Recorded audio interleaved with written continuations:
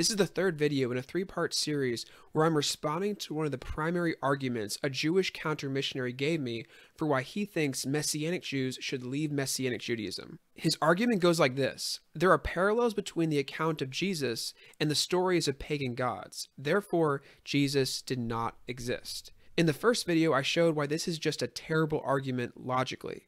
Basically, by this logic, one would have to conclude that one of the most prominent rabbis in Jewish history, Rabbi Akiva, never existed because there are striking parallels between accounts of his life and Jesus' life. And if you want to see how I made that argument, be sure to check out that video. It's in the description below.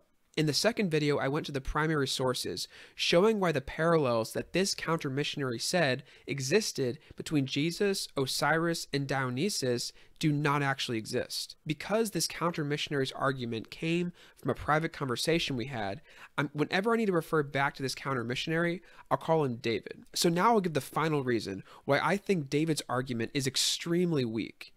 Even if David was actually right about the parallels between Jesus, Osiris, and Dionysus, or he found a different set of pagan gods that actually had parallels with Jesus, we have excellent reason to think that those parallels would be coincidental because the early Jesus movement was a sect within Judaism. It was born in a Jewish community. Our sources tell us that first century Jews hated paganism. And this means two things. It is unlikely that the founders of a Jewish movement would copy from pagan gods and it's also unlikely that Jews would choose to follow Jesus if he was a copy of pagan gods, essentially a pagan Messiah. Before I show you why these points are in line with contemporary scholarship, I want to read a couple quotes from Jewish historians explaining how they use the book of Acts for historical research. So, Dr. Pamela Eisenbaum says this Acts constitutes an undeniable part of the historical record that can be mined for information about the origins of Christianity generally, as well as some of its central figures, like Paul, as long as it is used with awareness of its literary tendencies and particular bias. This is true of ancient and modern accounts of events. The late Dr. Geza Vermes wrote this. Acts offers a genuine insight into the life, thought, and aspirations of the first generations of Jewish Christians. Both Dr. Eisenbaum and Dr. Vermes are not messianic or Christian scholars, and yet they see Acts as a valuable historical source for understanding the early Jesus movement. And I just wanted to highlight this before going into the text. Okay, so the first point is that the early Jesus movement was a sect within Judaism, and here are some reasons we know this. Among the various Jewish sects and groups during the first century was the early Jesus movement, who identified themselves as the Way. They did not consider themselves a new religion outside of Judaism. Acts 24, verse 14, records Paul saying to the Roman governor Felix and the Sanhedrin's lawyer Tertullus, But this I confess to you, that according to the way which they call a sect, I worship the God of our fathers, believing everything laid down by the law and written in the prophets. Jewish scholar Dr. Daniel Boyarin rightly points out that the reason Paul says, according to the way, which they call a sect, is because Paul views the way as, quote, the true way, while the Jews outside the early Jesus movement say it's just another school of Judaism. Also, what's important to highlight is that in Acts chapter 5, this describes the Sanhedrin flogging the apostles. In 2 Corinthians 11, verse 24, Paul says, Five times from the Jewish leaders, I received 40 lashes minus one. And at first blush, you might be tempted to take this as evidence that the early Jesus movement was outside of Judaism, but rather it demonstrates the exact opposite. The reason these Jewish believers in Jesus were liable to be disciplined by Jewish leaders is because the Jewish authorities viewed them as part of the Jewish community. Jewish scholar Dr. Claudia Setzer explains that this kind of punishment was intended to keep recalcitrant Jews in good standing in the community. Dr. Pamela Eisenbaum writes The fact that Paul says he was subject to 40 lashes less one five times from synagogal authorities, 2 Corinthians 11 24, means that the synagogal authorities, as well as Paul himself, understood that he remained subject to Jewish authority. The book of Acts consistently describes the first Jewish believers in Jesus as Torah observant Jews. They uphold circumcision, they worship in the temple, they offer sacrifices, they observe the Jewish festivals, including the weekly Sabbath, and they keep kosher. And if you want to see an excellent discussion that goes deeper into these issues, demonstrating that Acts is a Jewish text describing the early believers in Jesus as Torah observant Jews, read the book uh, Torah Praxis after 70 CE, reading Matthew and Luke Acts as Jewish texts by Dr. Isaac Oliver. I'll link his dissertation in the description below. So listen to what counter missionary Rabbi Michael Skobac says about the early Jesus movement. The movement continued to worship in the temple and to bring sacrifices and to observe the rest of the Torah. Don't forget that. That's an important piece of the puzzle. The followers of Jesus, even after he died, continued following the Torah, continued worshiping in the temple, continued bringing sacrifices. Rabbi Skobac is right. Also, Jewish historian Dr. Gabriele Boccaccini, he simply says the Jesus movement was nothing more than a Jewish messianic movement. This is not just Dr. Boccaccini's view. The idea that the early Jesus movement was a sect within Judaism is something that both Jewish and Christian scholars of Second Temple Judaism agree with.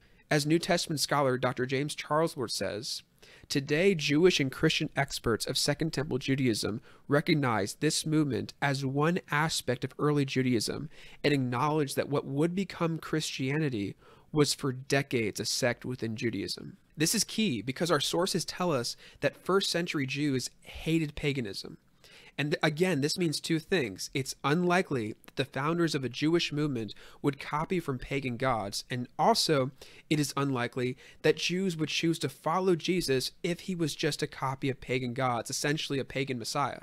So let's look at the ancient Jewish sources. In the Wisdom of Solomon, which was written sometime between 100 BCE and 50 CE, the Jewish author writes, for whether they kill children in their initiations or celebrate secret mysteries, the worship of idols not to be named is the beginning and cause and end of every evil. For their worshippers either rave in exaltation or prophesy lies or live unrighteously or readily commit perjury. For because they trust in lifeless idols, they swear wicked oaths and expect to suffer no harm. So that's from the Jewish perspective, okay? That's this is a Jew just despising and hating paganism. So now let's see what a Roman perspective would be. The Roman historian Tacitus, writing between 106 and 107 CE, he says this about the Jews. They despise the gods and conceive of one God only, and that with the mind alone they regard as impious those who make from perishable materials representations of gods in man's image. That supreme and eternal being is to them incapable of representation and without end. So let's look at 1 Maccabees chapter 2 verse 19 through 27. Here is a Jewish author writing between 125 and 63 BCE describing Mattathias' response to the Seleucid king Antiochus IV Epiphanes who commanded him and other Jews to participate in pagan worship. And this is what the text says. Mattathias answered and said in a loud voice, Even if all the nations that live under the rule of the king obey him and have chosen to obey his commandments, every one of them abandoning their religion of their ancestors, I and my sons and my brothers will continue to live by the covenant of our ancestors. Far be it from us to desert the law and the ordinances. We will not obey the king's words by turning aside from our religion to the right hand or to the left. When he had finished speaking these words, a Jew came forward in the sight of all to offer a sacrifice on the altar in Modein, according to the king's command. When Mattathias saw it, he burned with zeal, and his heart was stirred. He gave vent to righteous anger. He ran and killed him on the altar. At that same time, he killed the king's officer who was forcing them to sacrifice, and he tore down the altar. Thus he burned with zeal for the law just as Phinehas did against Zimri, son of Salu. Then Mattathias cried out in the town with a loud voice, saying, Let everyone who is zealous for the law and supports the covenant come out with me. Then he and his sons fled to the hills and left all they had in the town. Paganism was not only hated, but this example shows us how zeal for the Torah led this Jewish leader, Mattathias, to kill for the sake of avoiding paganism. And interestingly enough, zealousness for the law is also how Jewish followers of Jesus in Jerusalem are described in Acts 21, verse 22. And if you want to see an in depth look at Acts 21, watch our video, Did Paul Teach Against Torah in Acts 21, responding to Rabbi Michael Skobac. So go check out that video if you want more details on Acts chapter 21. An awesome, an awesome text to look at. Another example of showing that Jewish hatred of paganism. We see this in the first century Jewish historian Josephus recounting a situation when Pilate's troops brought Caesar's images into Jerusalem during the night, and this infuriated the Jewish people because the Torah forbids making such images. So, in response, Josephus reports that multitudes of Jews traveled to Caesarea to plead with Pilate to take away the images. But Pilate refused. But the Jewish people there, they would not relent. And Pilate got so infuriated with them that he threatened to have them ex- executed unless they left. And listen to what Josephus says. This is how this is how these Jewish people respond. But they threw themselves upon the ground and laid their necks bare and said they would take their death very willingly rather than the wisdom of their laws should be transgressed, upon which Pilate was deeply affected with the firm resolution to keep their laws inviolable, and presently commanded the images to be carried back from Jerusalem to Caesarea. So we see here that these Jewish people would rather be executed than have Caesar's images fill Jerusalem. Resisting paganism for first century Jews was deathly serious. In their book, The Jesus Legend, Dr. Paul Eddy and Dr. Gregory Boyd say this with few exceptions, Rome respected Jewish religious sensitivities. Herod refused to build pagan temples or gymnasiums in Jewish areas, and refused to build an amphitheater in Jerusalem. And as we have seen in some religions heavily populated by Jews, special coins were printed without representation of the emperor in deference to the Jewish sensitivity to graven images. Such evidence hardly squares with the view that the Jews of the first century were syncretistic in their religious worldview. Because the early Jesus movement was a sect within Judaism, it stands to reason that they, like other Jewish groups, oppose pagan influence. And while the Jesus movement began as a community that contained exclusively Jewish members, even when Gentiles did join, paganism was despised by the leaders of the movement. This is most clear in Paul's writings, when he is writing primarily to non Jews who are former idol worshippers. For example, Galatians 4, verse 8. Formerly, when you did not know God, you were enslaved to those that by nature are not God's. In 1 Thessalonians 1 9, speaking about the Thessalonian Gentile believers in Jesus, Paul writes, For they themselves report concerning us the kind of reception we had among you, and how you turned to God from idols to serve the living and true God. It's highly significant. Paul calls the gods idols because it's the Greek word eidolon, which is a pejorative word used in Jewish and Christian texts to denigrate pagan gods. In fact, the late New Testament scholar Dr. Larry Hurtado points out that this word is not found in any pagan texts. Similarly, in Paul's writings, he also uses the term idolatry, the Greek word idolatria. Paul uses this word to negatively describe the worship of pagan idols, and like eidolon, idolatria is not found in pagan literature. In 1 Corinthians 10, verse 14 and 20 through 21, Paul says this Therefore, my beloved, flee from idolatry. No, I imply what pagan sacrifice they offer to demons and not to God. I do not want you to be participants with demons. You cannot drink from the cup of the Lord and the cup of demons. You cannot partake of the table of the Lord and the table of demons. In 1 Corinthians 6, verse 9 through 10, Paul says this or do you not know that the unrighteous will not inherit the kingdom of God? Do not be deceived. Neither sexually immoral, nor idolaters, nor adulterers, nor men who practice homosexuality, nor thieves, nor the greedy, nor drunkards, nor revilers, nor swindlers will inherit the kingdom of God. There's no ambiguity here. Paul directly opposes the worship of pagan gods. In Acts chapter 15, during the Jerusalem Council, the apostles decide what commandments Gentiles are obligated to keep, and the following are included to abstain from things polluted by idols, and from sexual immorality, and from what has been strangled, and from blood.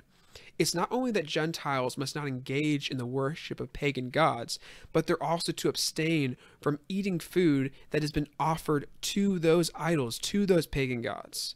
So, to summarize my argument spanning three videos, let me give you the three reasons I, I covered. First, I found at least 10 parallels between Jesus and Rabbi Akiva, but that doesn't mean that Rabbi Akiva was just a copy of Jesus and never existed. So even if one shows there are parallels between Jesus and pagan gods, that's not enough to prove Jesus did not exist. So if you want to make that argument, you need to provide evidence for a causal connection. Second, the parallels don't exist. In the myth, Osiris's death is nothing like Jesus' death, and he actually doesn't rise from the dead.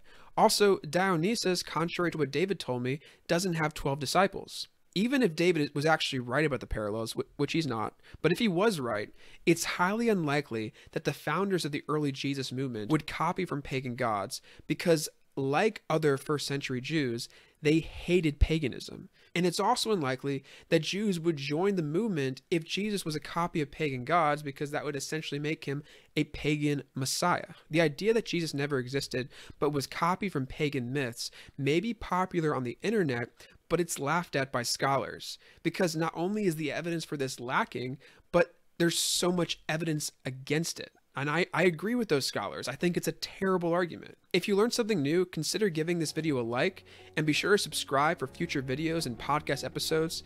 If you'd like to add anything or disagree with anything I said, I would love to hear about it. You can comment below or you can email us at 2messianicjews at gmail.com. That's two 2TWO, messianicjews at gmail.com.